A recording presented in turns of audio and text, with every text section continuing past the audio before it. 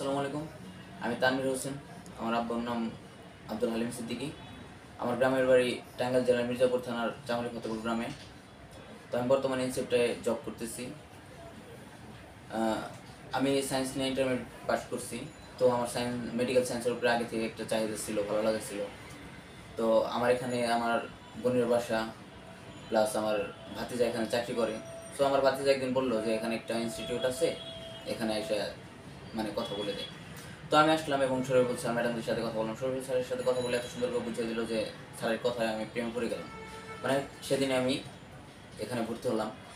তারপরে মেন জিনিস হলো যেখানে, এখানে মেডিকেল সায়েন্সের মতো এত কঠিন সাবজেক্টে এখানে দক্ষ, অভিজ্ঞ ডক্টর মানে এত সুন্দর করে উপস্থাপন করে আমাদের বুঝিয়েছে মানে আমাদের বুঝতে কোনো সমস্যা হয়নি এখানে আমি অনেক কিছুই শিখছি।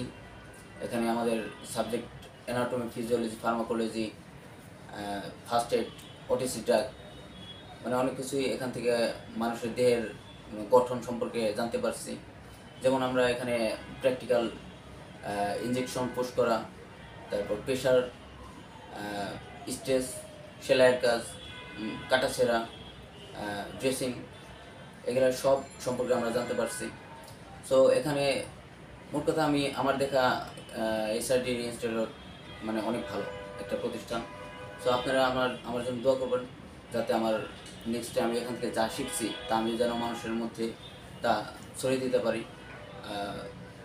মানুষের সবাই আমি অনেক সাহায্য করতে পারি। আপনারা সবাই আমার জন্য দোয়া করবেন, আমার মনের আশা যেন পূরণ হয়। আসসালামু আলাইকুম।